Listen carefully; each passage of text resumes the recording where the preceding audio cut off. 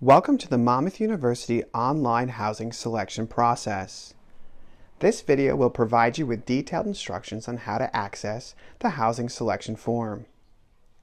Should you have any questions, please email the Office of Residential Life.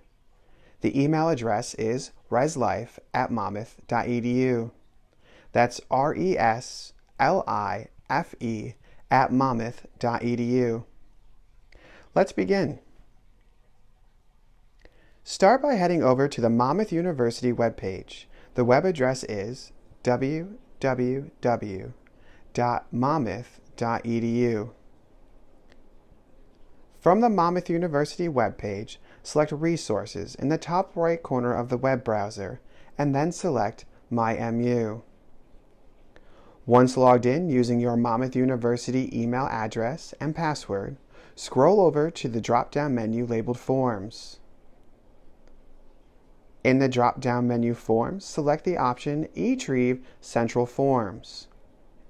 This should bring you to eTrieve Central, where you should see the section named Forms on the left side of the screen. Click on Forms and then choose Housing Selection Form under Residential Life. Once you've completed this form, please click Submit. This form will be reviewed by the Office of Residential Life. You will receive your room assignment by email from a member of the Residential Life team no later than April 24th.